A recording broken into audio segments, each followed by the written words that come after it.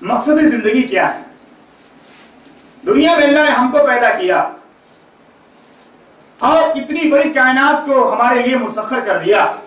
سورج، چاند، چرند پرند چوپائے بے شمار قسم کی گاڑیاں۔ یہ ساری نعمتیں جو اللہ نے ہم کو دی ہیں، ہماری سہولت کے لیے ہماری آسانی کے۔ لیے تو اب سوال یہ پیدا ہوتا ہے، کیا اللہ تعالی نے اس کائنات کو بلا کسی مقصد کے لیے پیدا کیا۔ اس کی کوئی ایسے کوئی مقصد ہی نہیں۔ آدمی کھائے، کمائے، چلا جائے۔ آج ہم مسلمانوں کے حالات پر جب غور کرتے ہیں تو معلوم ہوتا ہے کہ آج مسلمانوں میں اور غیر مسلمانوں میں کوئی زیادہ فرق نہیں رہا۔ جیسے یہ کھاتا پیتا ہے ویسے وہ کھاتا پیتا۔ ہے جیسے یہ غفلت کی زندگی، گناہ کی زندگی گزارتا ہے وہ بھی گناہ کی زندگی گزارتا۔ ہے سوال یہ پیدا ہوتا ہے، جب دنیا کا عقل مند انسان بغیر مقصد کے کوئی کام نہیں کرتا تو اللہ تعالیٰ بغیر مقصد کے اتنا بڑا نظام کیوں چلا رہا ہے؟ انسانوں کو پیدا کر رہا ہے، ان کی سہولیات کے لیے، ان کی آسانیوں کے لیے کتنی نعمتوں کو اللہ نے ان کے لیے انچھاور کر دیا۔ کیا اللہ تعالیٰ نے ہم کو اس دنیا میں اس لیے پیدا کیا کہ عالی شان بلڈنگیں تعمیر کرے صرف ہم؟ کتنے لوگوں کا کام صرف بلڈنگیں تعمیر کرنا، بلڈنگیں بنانا، دس منزلے کی، بیس منزلے کی، پچاس منزلے کی۔ ان کی پوری زندگی بلڈنگوں بنانے میں گزر جاتی ہے۔ تو کیا میری ہماری زندگی کا مقصد صرف یہی ہے کہ ہم عالی شان محل تعمیر کریں، تیار کریں، اس کو خریدیں، بیچیں، اس سے کاروبار کریں۔ کیا اللہ نے ہم کو دنیا میں اس لیے پیدا کیا کہ اچھی اچھی سے اچھی تجارت، کاروبار کریں صرف؟ بہت سارے لوگ صرف کاروبار میں زندگی گزار رہے ہیں۔ ان کی پوری زندگی کاروبار کرنے میں گزر جاتی ہے۔ وہ لوگ نماز کیوں نہیں پڑھتے؟ ٹائم نہیں ہے۔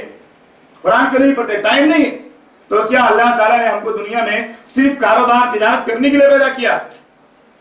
کچھ لوگ ایسے ہیں دنیا میں جن کو بہت پیسہ دولت ہے۔ آبا اور اجداد سے ان کو راست میں بڑی دولت ملی ہے۔ کاروبار نہیں، کوئی محنت نہیں، کچھ بھی نہیں۔ کھا کے موت مستی کر کے ان کا کام کرنا۔ کھا کے موت مستی کرنا ہی ان کا کام ہے۔ تو کیا اللہ نے ہم کو صرف اس لیے پیدا کیا کہ اچھی اچھی سے غذا، اچھی سے اچھی غذائیں کھائیں، مزہ لیں؟ اور اس کے بعد اس دنیا سے بغیر کسی جو ہے نیک عمل کیے ہوئے اور اللہ کی عبادت کیے ہوئے چلے جائیں۔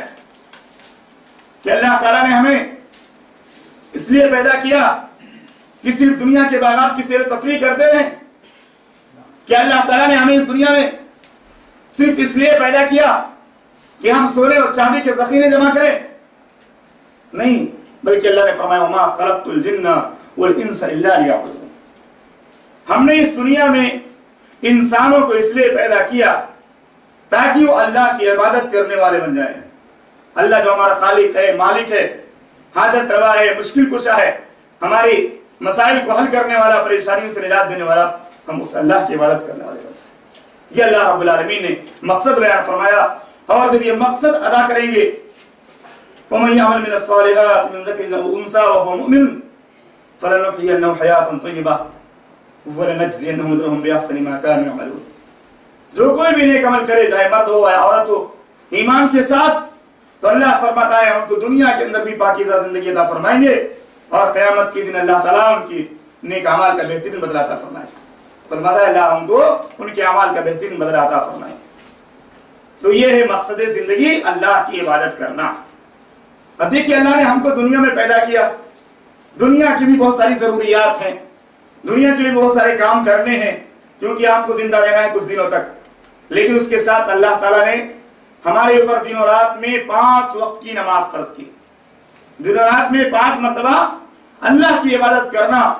آج انسان اور آج کے مسلمان کس قدر غافل ہو چکا ہے کہ اسے پانچ وقت اللہ تعالیٰ کی عبادت کرنے کی بھی توفیق نہیں ہے۔ اس وجہ سے نہیں ہے کہ وہ مقصد کو نہیں جان رہا۔ وہ سمجھتا ہی نہیں ہے کہ اللہ نے ہمیں اس دنیا میں اپنی عبادت اور بندگی کے لیے پیدا کیا۔ اب عبادت اور بندگی کے لیے جو پیدا کیا ہے۔ اس کے حصول کے لیے پانچ چیزوں کو سمجھنا ضروری ہے۔ اللہ نے ہم کو اپنی عبادت کے لیے، بندگی کے لیے پیدا کیا۔ اس کے پہلی چیز یہ ضروری ہے کہ اللہ کیا ہے؟ اللہ کے اسما صفات کیا ہے اللہ کی توحید کیا ہے؟ اللہ کی توحید کا علم حاصل کیے ہوئے اگر کوئی اللہ کی عبادت کرتا ہے، اس کا عقیدہ درست نہیں ہے، عبادت کا کوئی فائدہ ہونے والا نہیں۔ دوسری چیز ہے، اخلاص اور محمد الرسول اللہ۔ صلی اللہ علیہ وسلم کی اتباع کے ساتھ اللہ کی عبادت کرنا۔ اخلاص کے ساتھ اور اتباع۔ نبی صلی اللہ علیہ وسلم کی اتباع کے ساتھ۔ تیسری چیز، اللہ تعالیٰ نے اس دنیا میں ہماری آزمائش کے لیے، ہمارا امتحان لینے کے لیے پیدا کیا ہم کو۔ تو اس آزمائش میں ہمیں کامیاب ہو کر کے دکھانا ہے۔ اور چوتھی چیز، دنیا میں جب بھی اللہ کی کوئی نعمت ہم کو ملے، اس پر اللہ کا شکر ادا کریں۔ جب بھی کوئی پریشانی، تکلیف آئے تو ہم صبر کریں۔